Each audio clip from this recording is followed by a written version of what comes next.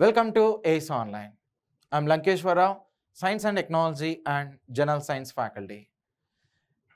What is the most common factor for the allowing of the Taj Mahal gradually over the years?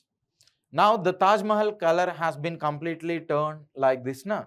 Initially it's looking like this. What about now? It has been uh, converted to in this orientation, right? So what which phenomena is responsible for that?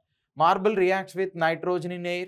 Next, uh, acid rain. Marble turns yellow with li- with uh, lime, lime or time, whatever it is. Next, uh, uh, here here uh, correct one is time only. Next, uh, carbon monoxide present in air. So which is the correct one? Of course, the correct answer is option two only. Acid rain. Okay, acid rain.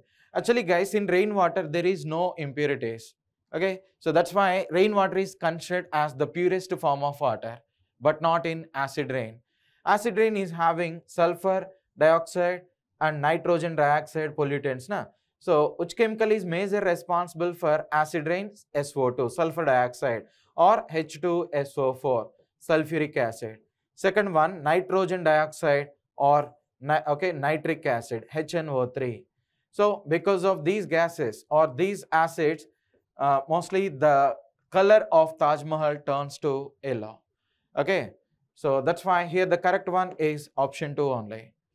Here also I have a question for you. What is the pH value of acid rain? If you know the answer, please comment. Thank you.